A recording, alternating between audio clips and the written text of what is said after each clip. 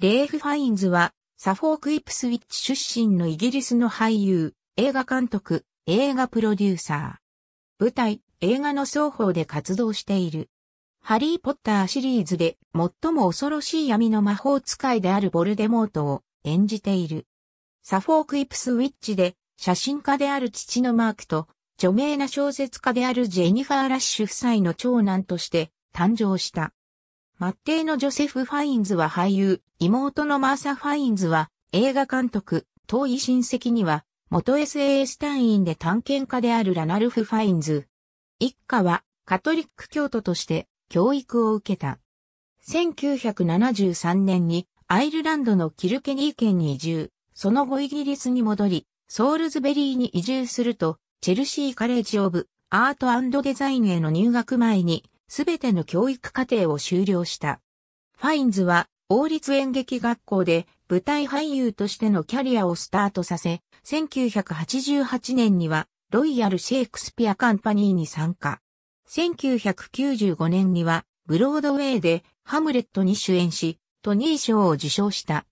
ウィリアム・シェイクスピア、イワン・ツルゲーネフ、ヘンリク・イプセンらの古典的文芸作品や、クリストファー・ハンプトンや、サミュエル・ベケットといった近代の作家による作品に出演している。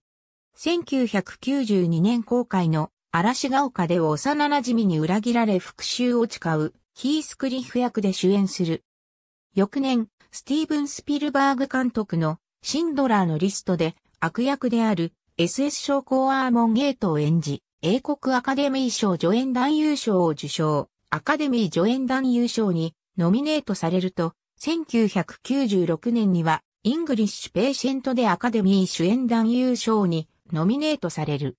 2005年公開のハリー・ポッターと炎のゴブレットでハリー・ポッター最大の敵で最も恐ろしい闇の魔法使いであるボルデモートを演じる。その後、シリーズ最終章まで出演し、この役で最も知られるようになる。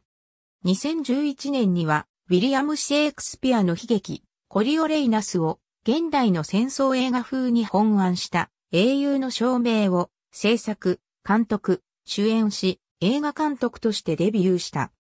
2012年公開の007スカイフォールに出演。その後、ジュディ・デンチ演じる M の公認としてシリーズに出演していく。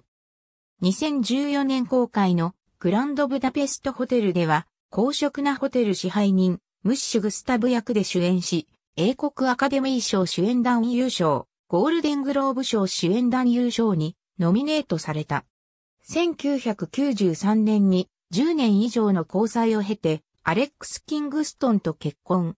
しかし、1995年にハムレットで共演した18歳年上のフランチェスカ・アニスとの交際が明るみに出ると1997年に離婚。アニスとの交際も2006年2月に終焉した。その後もエレン・バーキンとの交際が報じられた。ありがとうございます。